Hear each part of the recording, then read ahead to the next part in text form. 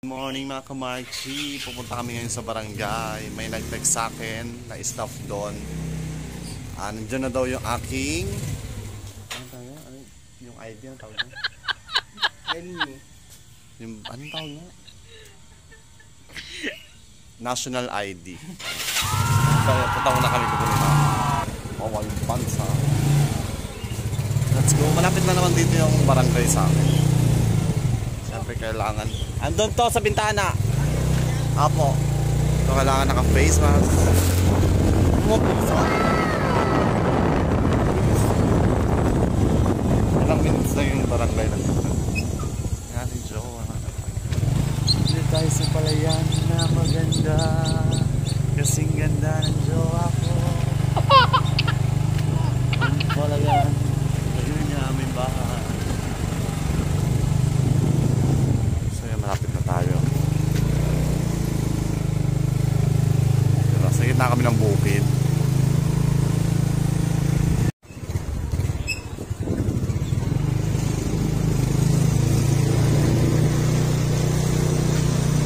So yan na yung barangay dito sa amin. Ito ano, diba ayan. Ito yung barangay pala. Sarado pa. Mamaya na lang. Punta muna kami ng farm. Bye-bye. Mamaya na lang. A few moments later.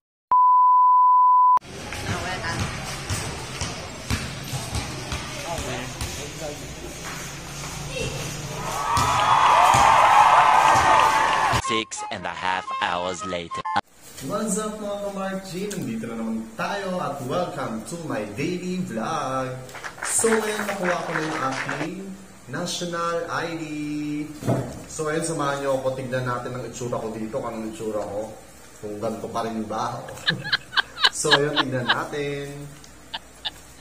May nag-chat pala sa akin sa barangay na nandun na nga daw yung aking national ID. So thank you kay Ate Fred Wanson, yun. Siya yung nag-chat sa akin. So, samahan niyo ako, tignan natin.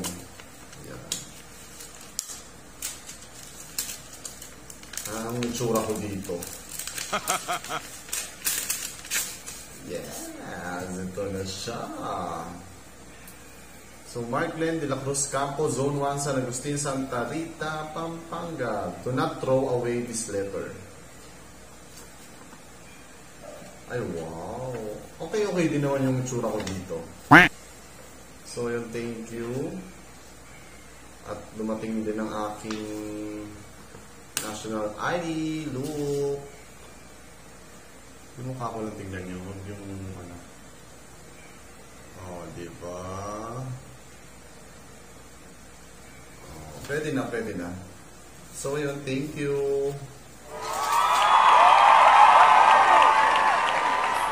August 20, 2022. Ano ba ngayon?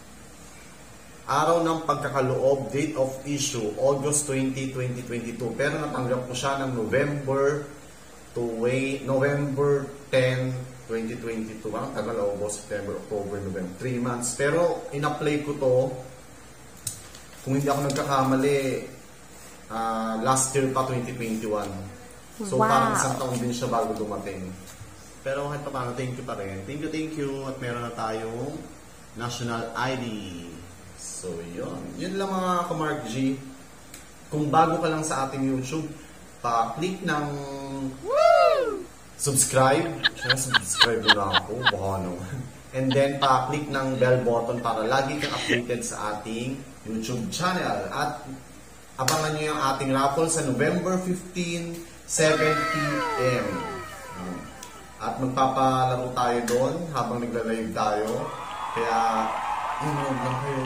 Hintayin nyo yun. Ang dami excited sa ating ah, raffle na yun. So yun lang mga kamark. Maraming maraming salamat sa panonood. At sana lagi nyo akong suportahan. Thank you, thank you. Ingat ang lahat. Bye-bye. Bye-bye.